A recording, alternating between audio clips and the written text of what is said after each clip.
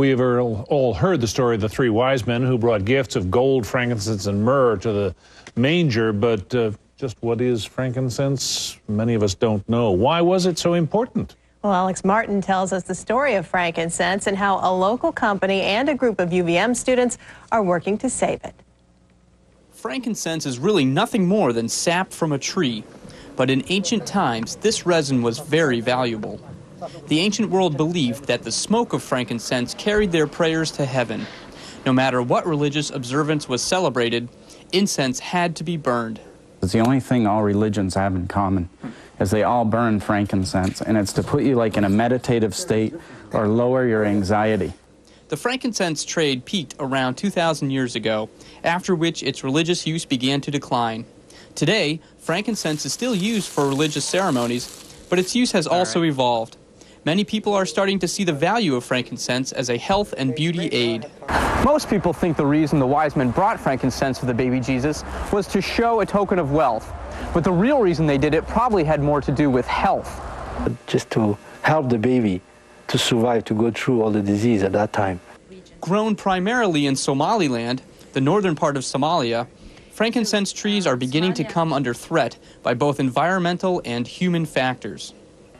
And because there's not an equitable trade in Somaliland and in Eastern Africa for this obviously highly prized raw material, people are harvesting at greater rates than they used to. Ismael Imports of Burlington began importing and selling frankincense earlier this year.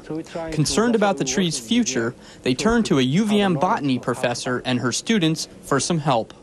Ecology and economics is perfect for us because you know, it's like, holy smokes, is that a fit or what?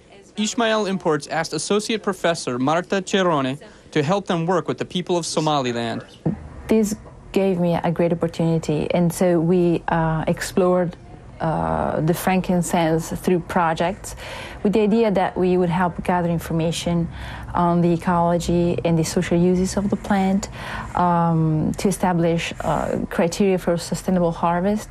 And as the people of Somaliland learn the benefits of a sustainable frankincense trade, they can use that opportunity to create better lives for themselves. So there, there is a whole issue of how to translate potential uh, earnings from frankincense into uh, better quality of life. Frankincense has had a long history, and as Christmas draws near, we see its importance not only when Christ was born, but also today. Alex Martin, Channel 3 News, Burlington. Interesting. That is interesting.